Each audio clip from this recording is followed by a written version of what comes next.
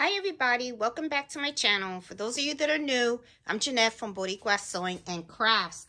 Um, one of the things that I wanted to do is talk to you guys in this video about sewing box corners when it comes to tote bags. Um, I have been creating a lot of these tote bags uh, because, you know, pretty soon, well, they already started. They're going to be charging five cents for the plastic bags. So um, to save us some money, I'm going through my stash of fabric and I am creating a bunch of tote bags. Now, I watched a lot of videos on how to do the box corners and my box corners were not coming out as great as um, they should have. Some of them were not like aligned and they were just not working out. This one is also um, not done correctly as well. Um, I'll show you right here. And I'm going to show you how I do them. And I'm also going to show you, this is a mistake, okay, that I'm going to show you to avoid and everything. Because as you can see, it should go straight like this. But I kind of sewed it the wrong direction. So it's, it's like this, okay. So I'm sure you guys can see it. You know, it's not exactly going the, it should go the same direction, but it's not because I sewed one going this way and then the other one is going the opposite way when it should have been sewn like this. So anyway, um, but let me let me show you what what I have learned because I watched a lot of videos unboxing the corners and um, I'm going to show you guys exactly what is really working for me. Okay, now a lot of times when I watch people, they always like take a ruler, right? And then they say, hey, just uh, go this many inches here and then this many inches here, right? So a lot of times when they are measuring the inches, one of the things that I that I notice that people don't tell you, and it's kind of hard for you to see. Let me just low put this in here. As you can see right here, and it's kind of focused, I've already stitched, right? I've already have stitches right around here, right? And then I go, and then I, I'm stitched right here. One of the things that I did to box a three inch corner is I went ahead and I just took a piece of paper. This is cardstock. And I did a three inch box. Okay, so if you have a ruler, that's a three inch box. You're kind of golden. I don't have one. So I just created a template.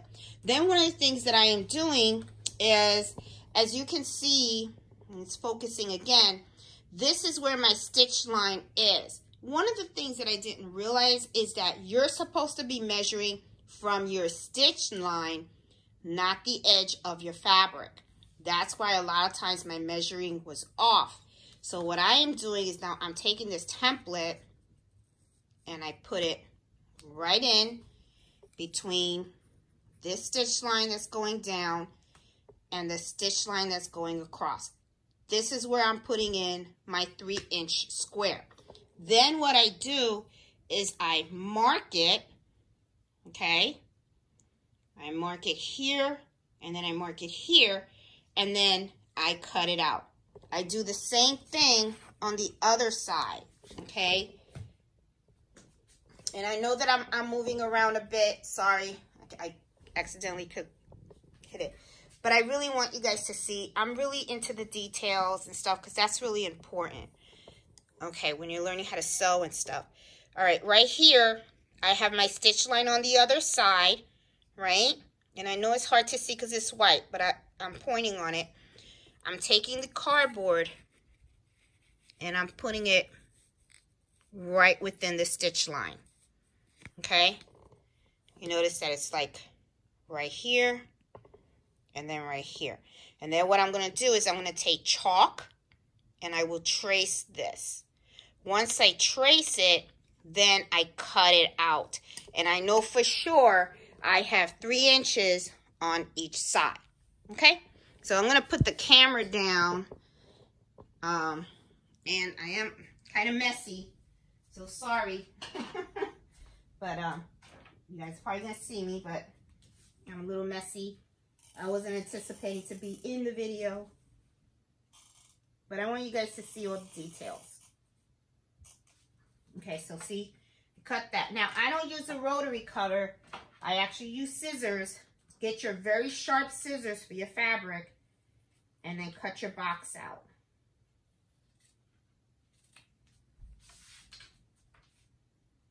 It's better if you have longer scissors so you have less of repeat cuts because sometimes your repeat cuts can be a little off, but mine is fine. Okay, so I'm going to go this side right here because this is the top of my tote. This is where I need to box my corners. And like I told you, I'm putting the, the box inside the seams, okay? Not, you don't put the, the three, the three inch box. This is no, because this then you don't have a three inch box, okay? You put it inside where your seams are. And then I take my chalk. Why did I do that? Tell I'm tired. Okay. And put it around. So I got my chalk there. This time I'm going to take a scissor that's longer. That way I don't have to repeat my cuts. And then now that I have my chalk line, you probably don't see it because it's very light. But there you go. If you have a longer scissor, it's better because that way you have a more consistent straight cut. There you go. There. Perfect. So doing this template works really good, okay? As you can see, it's more solid and it's more aligned. You know, it's, it's much better for me to do. Now let's go over to the sewing machine because I want to talk to you about how you're going to sew this, okay? Okay, we're over here by the sewing machine. And I'm going to show you how you're how I sew these shut, okay? Now, one of the things you're going to need is I recommend using one clip, okay, for the centerpiece, and then your pins. I like using the pins, okay? As a matter of fact, because I like using my pins, I'm to um, use my magnetic wristband because it's so much easier. Okay. Let's start with one of them, okay? you can see, it's a V shape. So what you're going to do is you're going to take both ends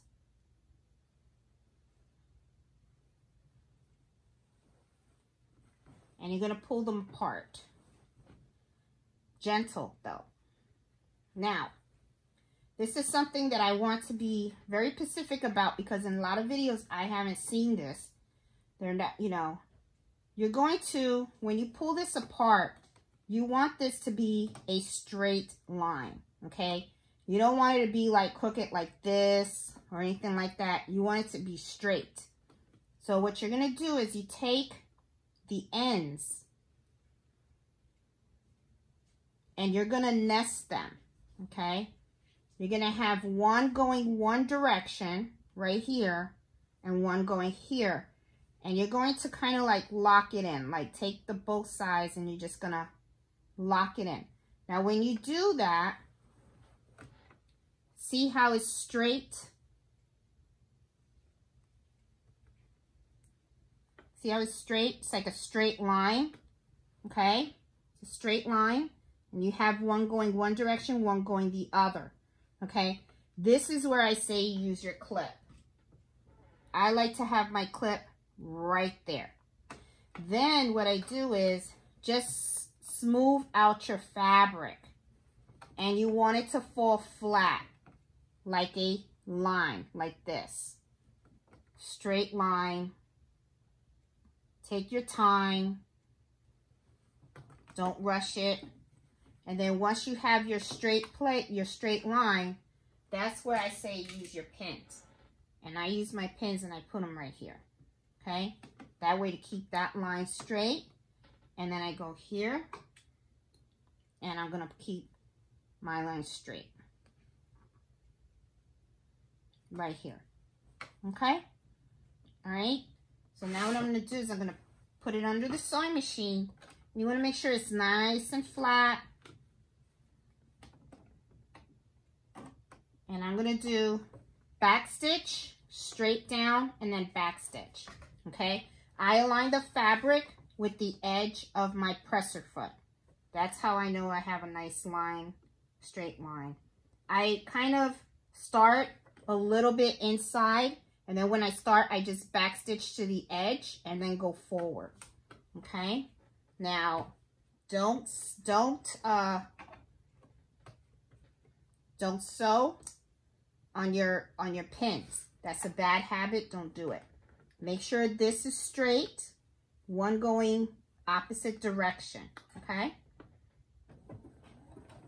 Now I'm back stitching all the way to the end. Now forward. Go slow. That's one thing that I learned about. Um, and look, this actually holds your clips too. Okay? That's what I like about these things. Go slow. That's one of the challenges that I had when I first started sewing was going fast, wanting to sew fast. I slowly learned that when you do that, you actually, that's where you make mistakes and your sewing is a little sloppy because you're rushing. So enjoy the craft. All right. See how nice and straight? Okay. Now, usually what I do is I take a scissor and I just cut a little closer to the stitches. Not too close, but just to get rid of some of the bulk. But you notice I'm not that close to the stitch. And I'll give you a close up so you guys can see how I did this. Okay? Put this in here. Let's give you a close up so you guys can see. Okay? See how I cut it?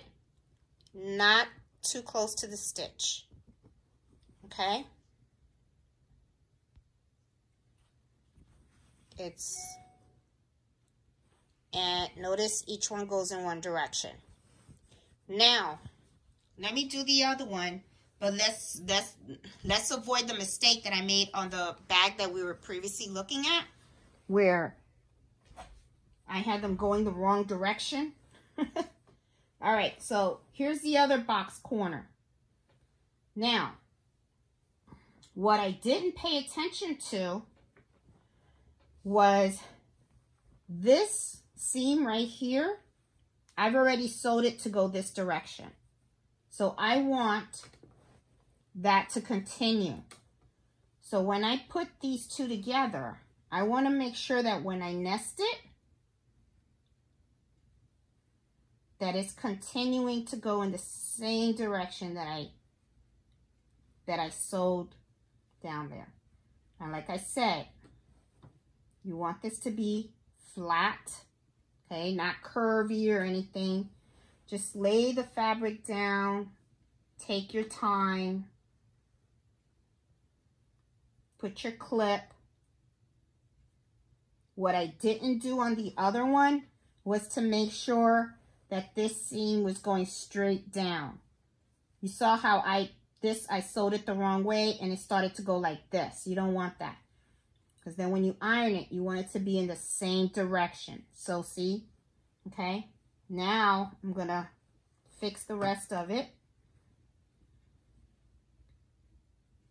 And I thought I had it caught and I didn't. Okay, now I have it. I have both. There you go. And it's in the right direction. So now I want to lay this flat because I want to make sure that it's nice and straight. Okay, and it is. Let's fix on this end too. That way can see that it's flat. Sometimes it takes a little fiddling. You know, you got to mess with the fabric a little bit because you want to make sure that it lays down correctly. That's okay. Just take your time. I'm to take one of the pins, put it in. Let's check the other side. Make sure it's laying down right.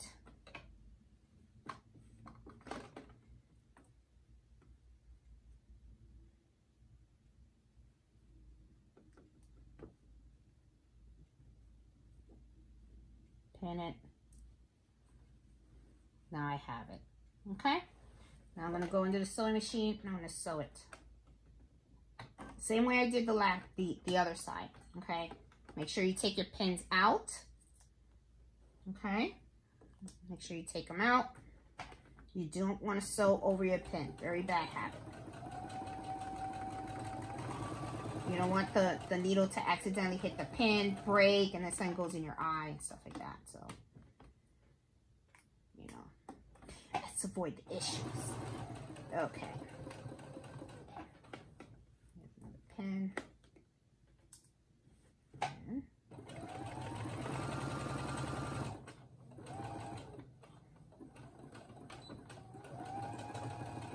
Okay. Okay. So now I got my thing and of course I'm going to trim a little bit because I, I don't, gets rid of bulk.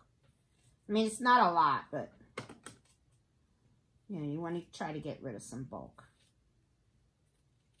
All right, there you go. Put this in the trash. All right, so let's go over to the cutting table. Let's take a look at this. All right. Okay, good. This is a good view. All right. I know exactly where. Okay. So as you can see, box corners, perfect. Perfect length. Okay. And one of the things that I like also is if I go to fold this, let's see. There you go. See how it folds nicely? And then I can iron. See how it folds nicely? because this is going the same direction. I This one I made a mistake. And I'm not going to redo it. These are for me. See how I folded it here and then here it went the other way. So, you know, I don't have that that flat fold because I sewed it the wrong way. But here, fold. And you have a perfect boxed corners by putting this in the right place and using a template. I find this is easier. It works for me. You just really got to pay attention. And you got to make sure that you nest this correctly. Once you do that and you just hit straight, you're good. You're golden. Everything's going to come out really, really nicely. So this is really cool. I like it. So anyway, guys, I just wanted to share this with you because I had problems with boxing my corners. I found that very difficult to do. I was watching a lot of videos and um, then I finally caught on that you don't place this on the actual edge, you know, the edge of the fabric. You don't do it like this.